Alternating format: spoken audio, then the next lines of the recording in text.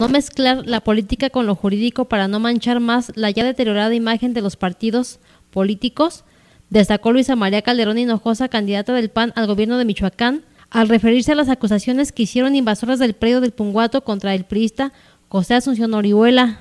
Si hay un grupo de invasores en un terreno este, y se mezclan con un evento político, creo que se complican las cosas.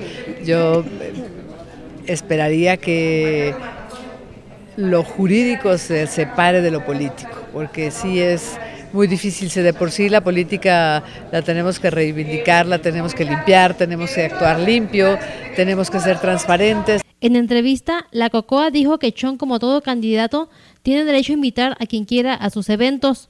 Lo que no se valdría es que hubiera cometido acciones que podrían derivar en actos anticipados de campaña. El candidato tiene derecho de invitar a los ciudadanos que sean de su partido en su registro como candidato, lo otro se llamaría acto anticipado de campaña. Luisa María recalcó que los candidatos a cargos de elección popular en Michoacán deben actuar conforme a la ley para recuperar la confianza de la población en los partidos. Para Cuasar TV, Sandra Sáenz.